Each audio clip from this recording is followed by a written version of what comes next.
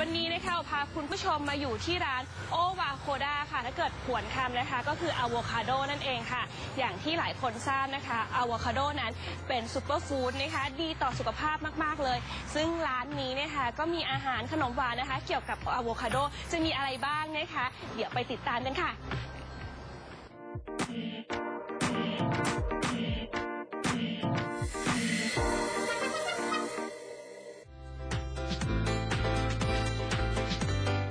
ซูเปอร์ฟู้ดค่ะมันก็จะมีวิตามิน B ค่ะ C K แล้วก็ช่วยลดไขมันอุดตันในเส้นเลือดอะไรอย่างเงี้ยครับ คือประโยชน์มันมันมีมากมาย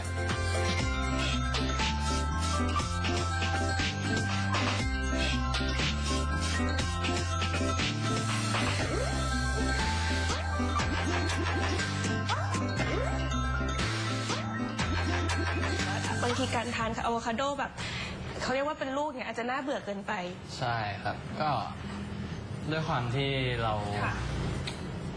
ทำเค้กทำเครื่องดื่มค่ะอยู่แล้ว เรารู้สึกว่าถ้าเอาอะโวคาโดเข้ามาทำล่ะอืม มันก็น่าจะเพิ่มความน่าสนใจให้ค่ะ ตัวอะโวคาโดเอง แล้วก็ตัวเมนูเครื่องดื่มอย่างกาแฟอย่างช็อกโกแลตอะไรอย่างเงี้ยครับกว่าจะคิดสูตรเนี่ยยากนะ ยากมากครับ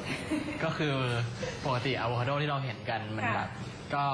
เอาอะโวคาโดมาหั่นหั่นหั่นค่ะ แล้วก็มาโปะมาทำสลัดอะไรเงี้ยครับ มันก็มันก็จะมีประมาณนั้นส่วน ส่วนที่เราคิดว่ามันน่าสนใจตรงที่เราอยากเอามันมาดัดแปลงมาพลิกแพลงให้มันอยู่ในเมนูต่างๆ อย่างแบบผัดกะเพราอะโวคาโดทอด ค่ะ คือตอนแรกก็กะว่าจะเอาอะโวคาโดไปใส่เลย แต่ว่ามันก็ดูฉาบฉวยไปหน่อยก็เลยแบบ เราทำให้อะโวคาโดมีรสชาติของกะเพราดีกว่า ค่ะ เราก็เอามาแบบคลุกกับเครื่องเทศกะเพราต่างๆคลุกกับใบกะเพราทอดกรอบเพิ่มแบบเพิ่มรสชาติกะเพราให้มัน แล้วก็เอามาทอดแล้วก็เสิร์ฟอืมก็คือการทอดเนี่ยมันอาจจะดูแบบไม่ดีต่อสุขภาพแต่มันก็ทำให้เรากินง่ายแล้วไม่น่าเบื่อถูกไหม ใช่ครับ ก็คือเราไม่ได้คาดหวังแบบตรงนั้นมากเราค่ะ คาดหวังความอร่อยก่อน ค่ะใช่ครับ อืมแล้วอย่างสมูทตี้อะโวคาโดค่ะ อันนี้ก็คือได้เต็มเลยอะ อันนี้คือแบบว่าประโยชน์เน้นๆเลยครับ ก็ ก็คือเราอยากกินอะโวคาโดที่ไม่ได้ใส่นม ค่ะ คือแบบ คือทั่วๆไปเขาจะไปปั่นกับนมกันเราไม่อยากกินกับนมขนาดนั้น เราก็เลยเอามาปั่นกับน้ำผลไม้แบบอืม แล้วก็เลือกเป็นน้ำมะนาวก่อน เพื่อที่จะแบบเสริมเอาไปตัดเลี่ยนในความมันของอะโวคาโดอะครับ แล้วก็ไม่ใส่น้ำแข็งเลย แล้วเราปั่นเสร็จเราก็แช่เย็นเสร็จมันก็จะได้กินกินอะโวคาโดเต็มๆเหมือนแบบเหมือนเรากินโยเกิร์ตเนี่ย ค่ะอืม แล้วมะนาวช่วยดีท็อกได้ด้วยอะโวคาโดเป็นซูเปอร์ฟู้ดด้วยอันนี้คือ ถ้าเกิดใครเน้นสุขภาพก็คืออันนี้ได้เลยอะโวคาโดอุดมไปด้วยสารอาหาร และวิตามินเมื่อรับประทานเข้าไปจึงมีประโยชน์ด้านสุขภาพ ไม่ว่าจะเป็นในเรื่องของการควบคุมน้ำหนัก หรือลดความอ้วน แม้ว่าอะโวคาโดจะมีแคลอรี่สูง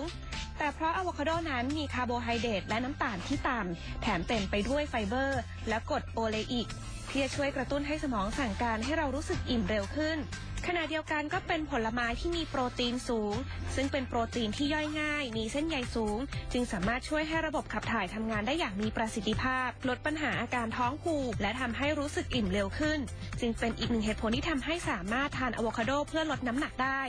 นอกจากนี้ในอะโวคาโดมีแร่ธาตุและสารอาหารที่จำเป็นต่อร่างกายเป็นจำนวนมาก โดยเฉพาะโฟเลตโซเดียม และโพแทสเซียม โดยสารอาหารเหล่านี้จะช่วยในเรื่องของการลดความเสี่ยงสภาวะคอเลสเตอรอลในเลือดสูงได้ ซึ่งการทานอะโวคาโดเป็นประจำสามารถป้องกันความเสี่ยงโรคหัวใจได้ และช่วยบำรุงสุขภาพหัวใจให้แข็งแรงยิ่งขึ้นอะโวคาโดอาจเป็นผลไม้ที่ขึ้นชื่อว่ามีไขมันสูง แต่ไขมันในอะโวคาโดนั้น เป็นไขมันชนิดดี ที่เป็นประโยชน์ต่อร่างกาย ช่วยลดปริมาณไขมันชนิดเลวได้ จึงนิยมทานเพื่อลดไขมันในเส้นเลือด ในอะโวคาโดประกอบไปด้วยวิตามินมากมายที่จะช่วยบำรุงสุขภาพร่างกายได้เป็นอย่างดี อย่างเช่น วิตามิน B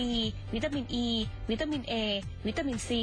และสุดท้ายนะคะอะโวคาโดมีส่วนช่วยในการควบคุมระดับน้ำตาลในเลือด และช่วยลดน้ำตาลในเลือดสำหรับผู้ป่วยเบาหวานได้เป็นอย่างดีค่ะ อันนี้เป็น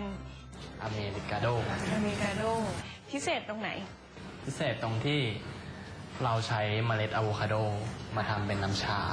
แล้วก็เอาน้ำชาตัวนั้นมาแทนน้ำเปล่าในอเมริกาโน่กก็จะทำให้มีรสชาติที่มีคืคอวามมันก็เหมือนเหมือนเราทานกาแฟปกติเลย แต่ว่ามันจะมีความมันมากขึ้นมีกลิ่นที่มันมากขึ้นครับแล้วมันก็มีประโยชน์เหมือนกันตรงที่ มันก็ช่วยลดไขมันอุดตันในเส้นเลือดเหมือนกัน ช่วยลดความอ้วนอะไรอย่างเงี้ยครับก็ได้มาจากได้ไอเดียมาจากคนญี่ปุ่น เขาแบบว่าต้มทานกันแล้วก็มาต่อยอด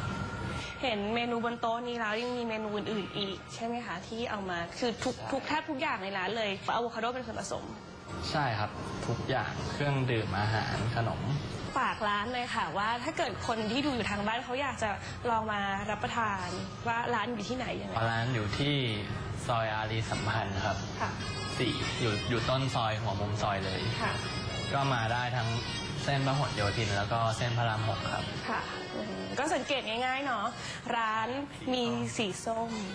ถ่ายรูปสวย วันนี้นะคะ ต้องขอบคุณคุณบอมมากๆ แล้วก็อาหารบนโต๊ะนี้ต้องบอกว่าอยากจะชิมแล้วเดี๋ยวลองชิมกันก่อนเลยละกันเริ่มที่